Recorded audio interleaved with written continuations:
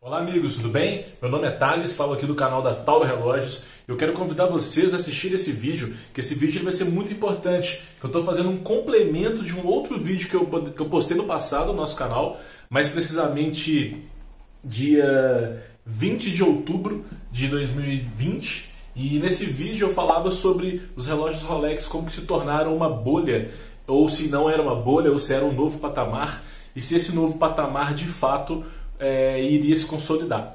Então é importante é, deixar claro que esse vídeo ele não é uma recomendação de investimento. Esse vídeo ele não te dá garantias nenhuma de que você vai comprar um relógio Rolex ele vai se valorizar mais ou que ele vai perder valor. Não existem garantias, tá, galera? Eu vou falar com base no que eu tenho de conhecimento, no que eu estou vendo de mercado, no, no, que a gente falou lá atrás no ano passado e no que de fato eu tenho de percepção com base nos grupos, nos fóruns, nos clubes, nos anúncios e no mercado, que eu acompanho praticamente aí é, sete dias por semana, várias horas do meu dia, além de ser um trabalho, é um hobby também. Então vamos lá. Lá no passado eu falei que o Rolex ele tinha valorizado. Eu vou deixar o link do vídeo aqui na descrição, tá aqui abaixo.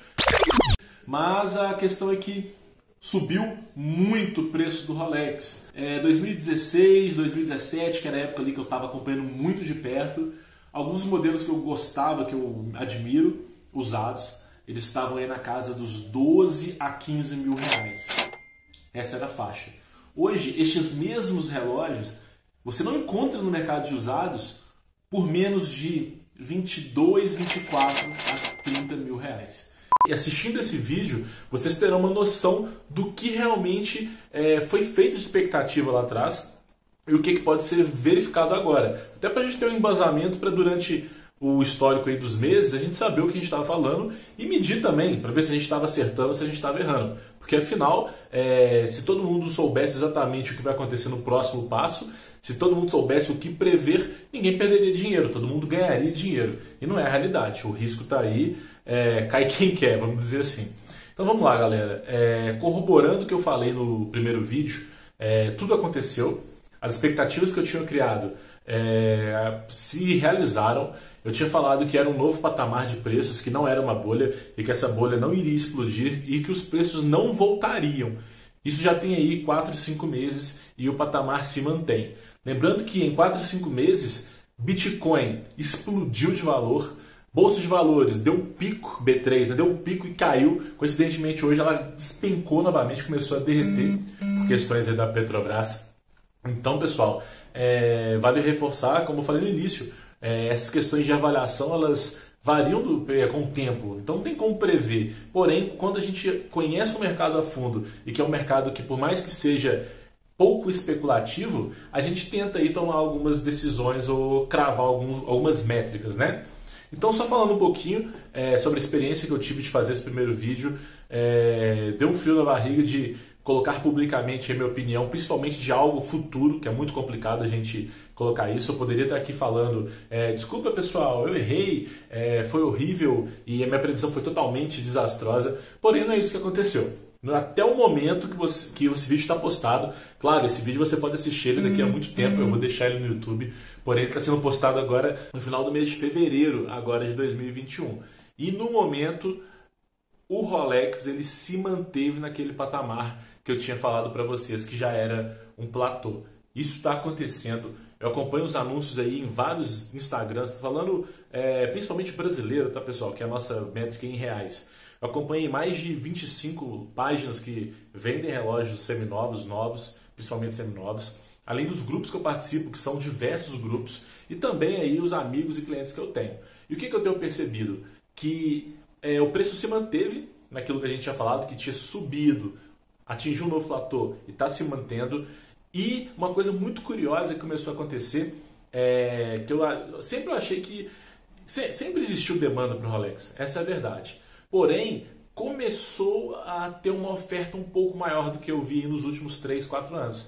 A gente sempre vê anúncio de Rolex sendo postado, é, é comum, apesar de ter uma, ter uma periodicidade aí maior né, entre eles, ter um intervalo grande entre um post e outro, é, dava a impressão que as peças estavam raras e faltantes no mercado. Porém, eu acho que o pessoal entendeu que ia ter essa alta e segurou não vendeu e também não ofertou, não, não colocou à disposição do mercado. Então acredito que da mesma forma como na bolsa de valores, existe sim aí um preço que é regulado pela oferta e pela demanda. Por mais que seja uma peça rara, uma marca que esteja alta no mundo todo, e como eu falei no vídeo anterior, quando o número de ricos cresce, o número de ricos no mundo se eleva, é, a tendência é esses novos ricos começarem a consumir aí os produtos referência de mercado, os produtos que são tidos aí como é, produtos de muito valor. Porém, voltando lá no, no gancho que eu comecei a falar para vocês, eu percebi que muita gente começou a postar relógios Rolex de vários modelos, desde aí do é, OP, é, DJ, é, Sub, é, Daytona, praticamente toda a linha. SD também, é, são siglas aí, pessoal, que eu estou usando para poder facilitar o entendimento, mas depois, se for o caso, vou pedir também, editor, quando eu falar a sigla, coloca aí para gente qual relógio que é o nome completo para cada um, até tá identificando e estudando. Se você conseguir colocar a imagenzinha do lado do que eu falei para trás, melhor ainda. Então, pessoal, eu acredito que o preço chegou num possível teto. Esse teto pode ser que seja estourado aí daqui a um tempo, mas eu acredito que temporariamente não vai subir mais, nem vai cair mais, vai continuar na mesma coisa que eh, a gente estava falando lá em outubro de 2020, e agora está um preço de venda no qual o mercado vai começar a colocar as peças para fora.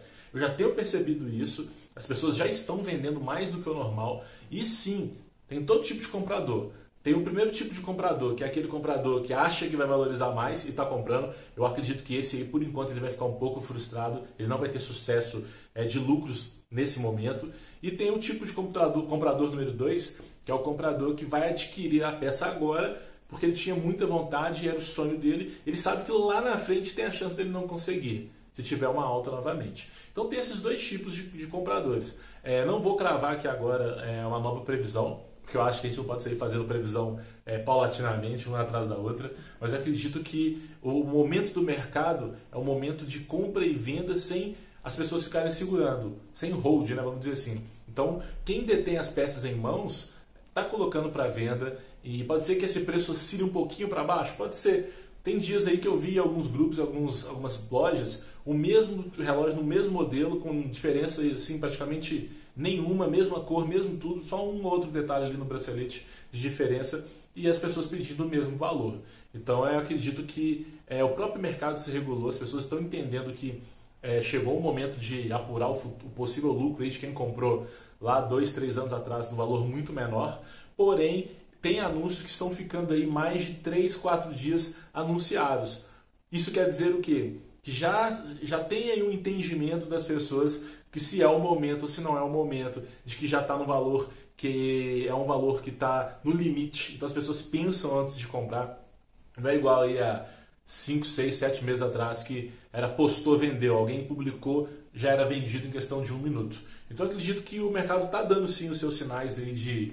É, não vou falar resfriamento, é, mas dando seus sinais aí de que vai se tornar normal agora estes preços, que esses preços agora são de fato aí um novo normal e que quem quiser comprar vai ter que pagar esse preço, quem quiser vender já tem um preço mais ou menos estipulado para venda. Eu acredito que é o que vai permanecer durante os próximos meses. Beleza, galera? É, da mesma forma que o outro vídeo, o outro vídeo fez muito sucesso porque muita gente comentou. Eu quero que vocês comentem aqui, por favor. Você acha que o mercado está aquecido, não está? Você acha que chegou no topo? Você acha que ainda é um fundo que vai subir mais ainda? Você acha que está dando uma respirada para poder estourar de vez, igual o Bitcoin fez aí nos últimos, nas últimas semanas, nos últimos meses. Então comenta, deixa sua opinião.